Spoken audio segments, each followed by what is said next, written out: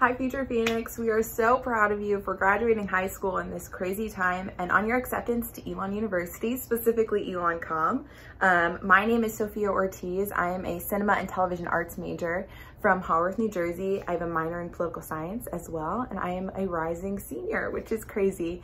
Um, so this week we'd like to invite you to spend a little bit of time with some ElonComm faculty, students, and staff from August 3rd to August 6th um, with different panels and discussions and info sessions about some of our signature programs um, that you can get started with like on day one. And I mean day one. Student Media and Fresh TV were among the first programs that I got started in when I came onto campus that really introduced me to the cinema major um, in terms of video editing and storytelling and content creation and all that good stuff.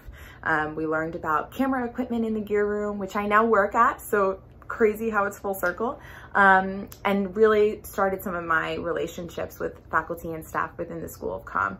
Um, I've worked from documentaries to short films to now I'm a creative content producer at Live Oak Communications. So I've touched a lot of aspects of ElonComm and, and it's only a glimpse of what you'll get get accustomed to and get involved in as soon as you come to campus. So there's more information in this email, but I'm excited to see you and hear from you and welcome you back or welcome you to Elon in the fall. Bye.